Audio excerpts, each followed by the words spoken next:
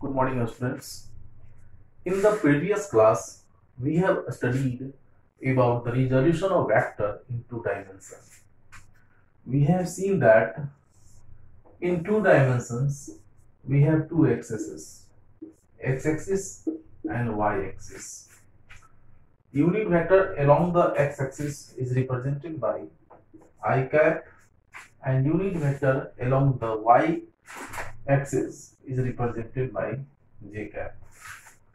If we are taking any vector in the plane or xy plane, say this is r vector, then we can identify its x component and y component by getting the projection of r vector upon x-axis. So for getting projection of r vector, we have to take the perpendicular on x-axis, then this will give this is the projection of r vector upon x-axis and this rx, this distance, the base of this right angle triangle gives the component of r vector along the x-axis or x component of the r vector.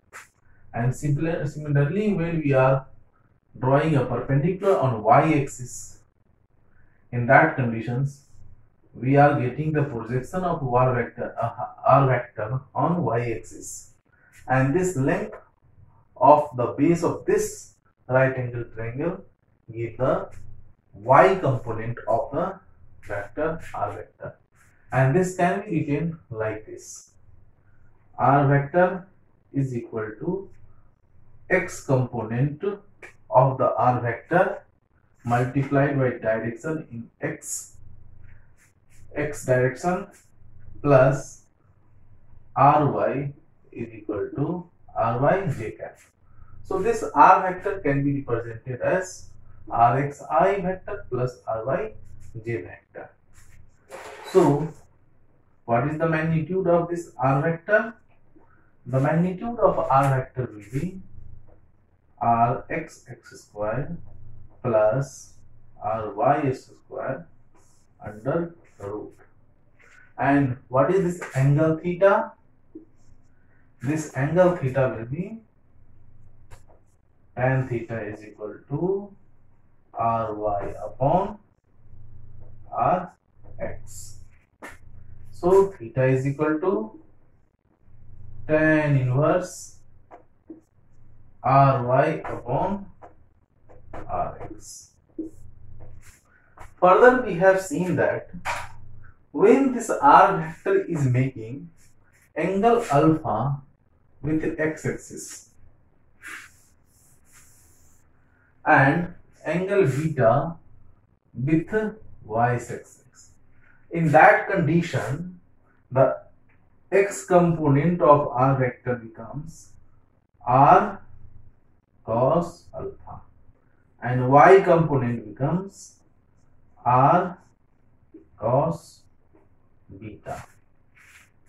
So this r vector can be written as r cos alpha i plus r cos beta j.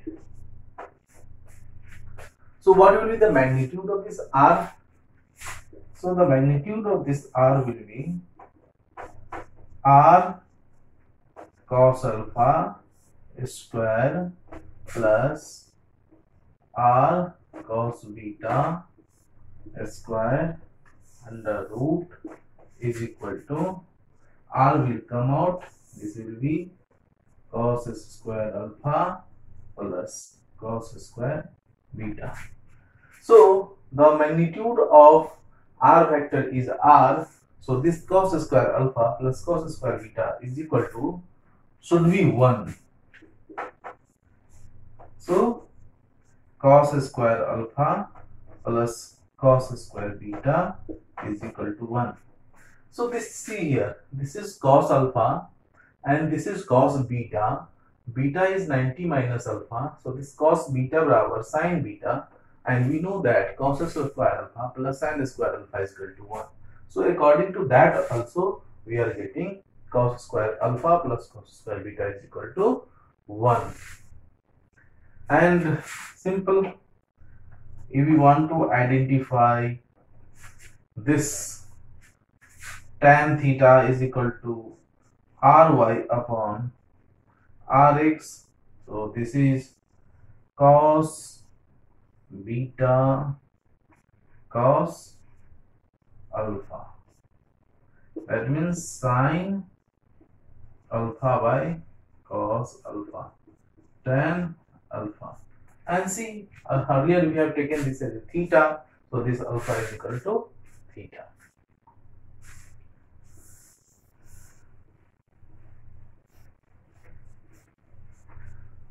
We will study about coordinate system in detail in some later chapters where we find out the different uh, coordinate systems as well as the two-dimensional coordinate system, third uh, dimensional coordinate systems where x is positive, where y is negative, where y is positive. So all these things we will discuss it someday when we will teach coordinate system. So we are just dubbing this two-dimensional model into three-dimensional model. So let we have instead of this two-dimensional model, something is in this space. So in that case, we have to take three origins x, y, and one more is z. So now, if we have some vector in the space, then that vector will make some angle with x axis, some angle with y axis, some angle with z axis. So if we take some vector like this, then this will make this will make three angles with x axis alpha, y axis beta, and with z axis gamma. So like we have to write this rx i cap plus ry j cap plus rz k cap. So this is x component of r vector, this is y component of r vector, and this is z component of y vector, r vector. So this can be written as r cos alpha i cap plus r cos beta j cap plus r cos gamma k cap. So where this what is this alpha? This is the alpha, the angle made by r vector with x-axis. What is this beta? The beta is angle made by r vector with y-axis. And what is this gamma? Angle made by y uh, r vector with z-axis. So when we are taking the magnitude of r is equal to r, in that condition we have to write r cos alpha square plus r cos beta square plus r cos gamma square under root.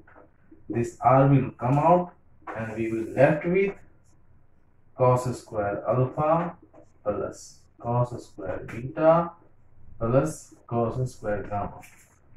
So this should be 1 then only we will get the R value of this magnitude. So from here we can realize that this cos square alpha plus cos square beta plus cos square gamma is equal to 1. So in this way we have to, to learn about the resolution of any vector in two dimensions as well as in three dimensions. So from two dimensions, we are getting cos square alpha plus cos square beta is equal to 1. But in the three dimensions, all angles alpha, beta and gamma, cos square alpha plus cos square beta plus cos square gamma is equal to 1.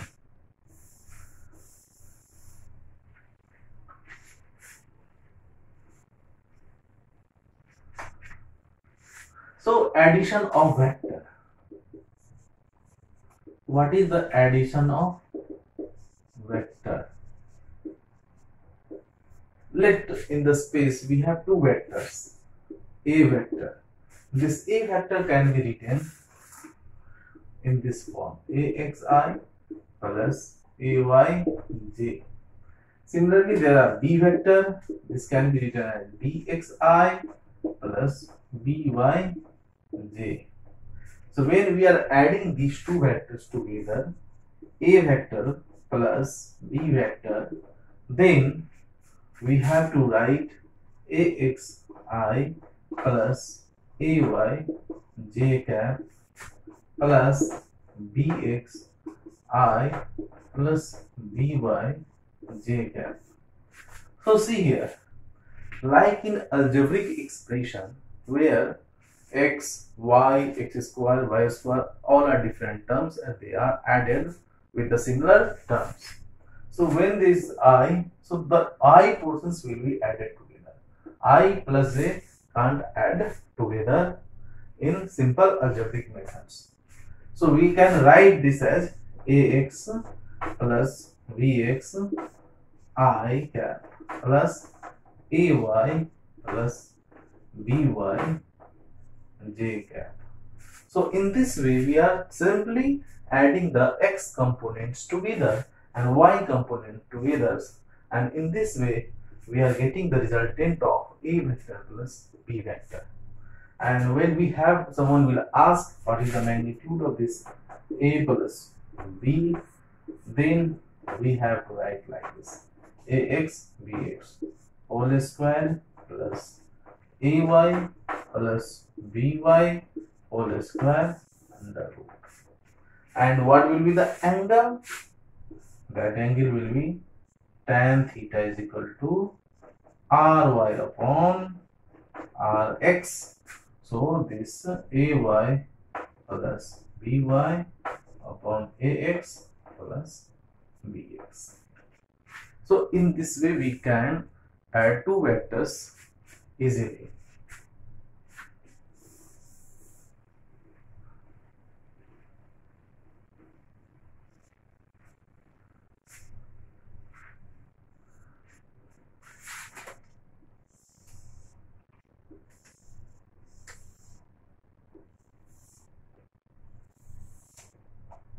This is A B, C, D. So, what is the projection of AC upon AB? Projection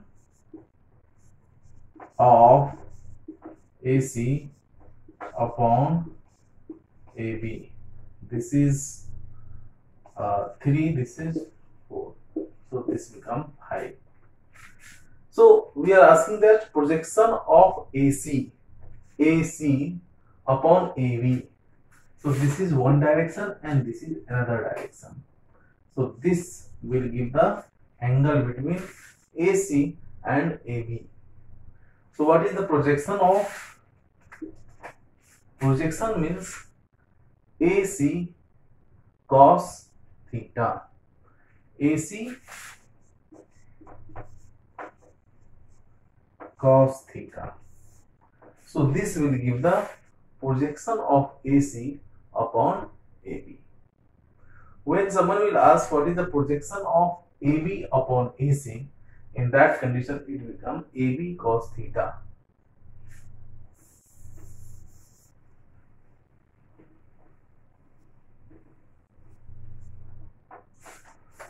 What is dot product?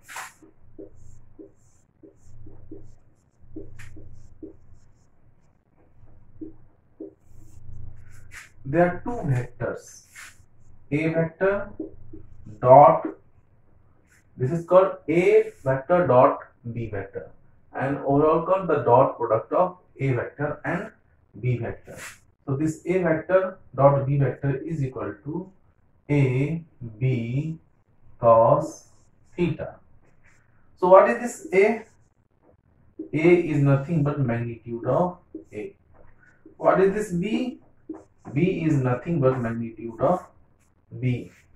And what is this theta? Theta is angle between A and B. So let us see this. This is a vector, this is b vector, then this will be theta. This can be also taken as theta. So if you are taking this theta or this theta, in the case of dot product, this will not change the meaning. But when we will study about the cross product, then we have to take another condition for theta and that should be less than 180 degree. Here we are seeing that this theta is more than 180 degree, this theta is less than 180 degree.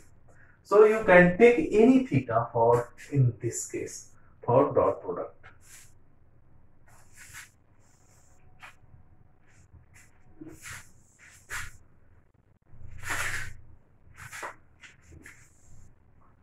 So this dot product can be written like this A dot B is equal to B dot A dot.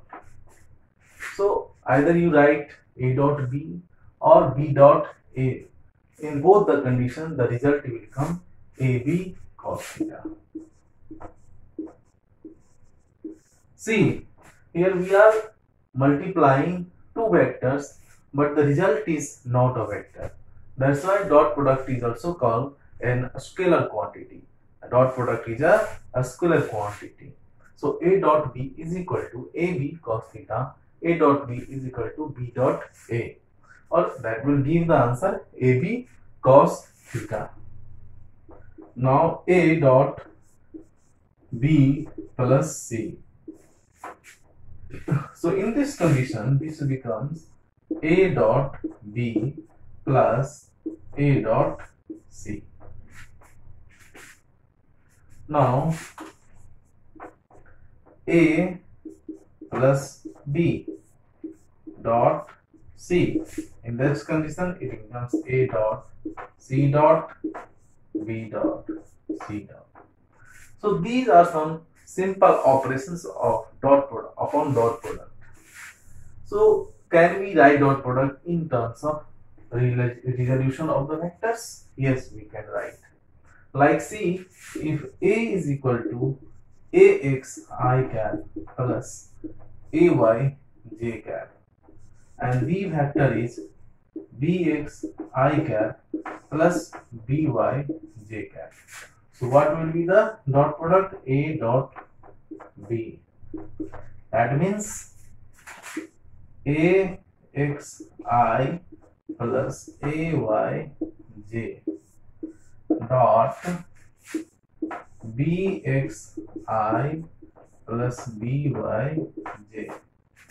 So AXI dot BXI plus AXI dot BYJ plus AYJ dot a bx i plus a y j dot by dot.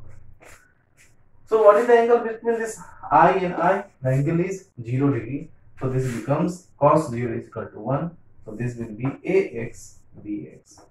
What is the angle between i cap and j cap? That means angle between x axis and y axis that is 90 degree. Cos 90 degree 0. So this is 0 again this is 0 and this will be ay and by So final answer will be ax bx ay by